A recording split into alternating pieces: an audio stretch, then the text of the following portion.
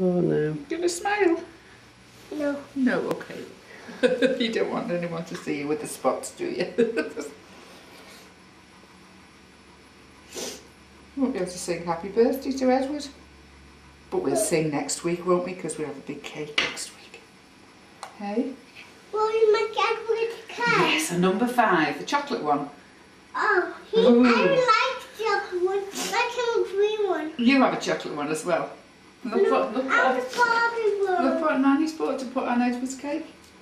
Yeah, he had to put that one. Yeah. Yeah. He haven't got a blue, green one. No, we haven't got a green one. No.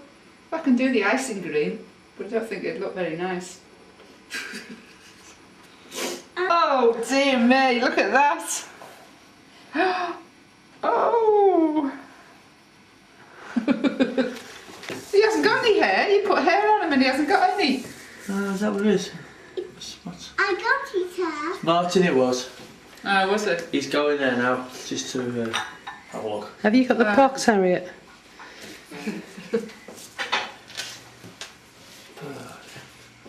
Ooh, He's dancing. that's good actually.